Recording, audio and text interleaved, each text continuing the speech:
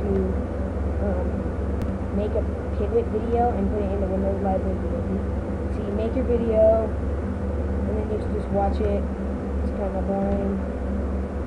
Stop. And then you want to save your video. And then down at the bottom, I know you can't see it that good, but underneath file name, you type, you want the one on the very bottom, separate images, and then you just come up with a random name. It doesn't really matter. Just anything. I just put you are awesome because you really are awesome. And got it. Um, save.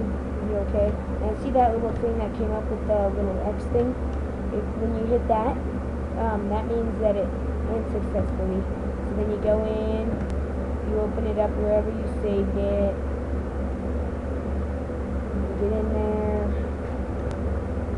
See my go down a little bit. There, I got it.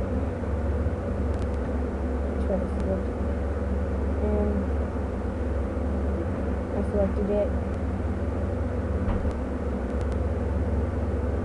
And I just, I just accidentally selected the little video I'm making right now, so that won't happen.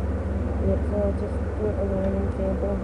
Put it in Movie Maker, you're gonna edit it.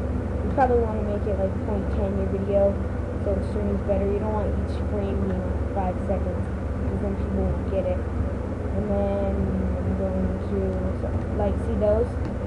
Um, you can like like the title, add captions and everything to make your video unique. And then if you go to aspect ratio, um, you want to click widescreen if you want your video to be in HD. And you click on YouTube. It takes a little bit to go up.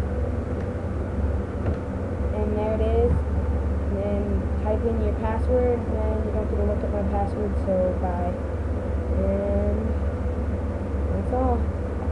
And so, if you still don't get it, just subscribe to me, and I will help you out.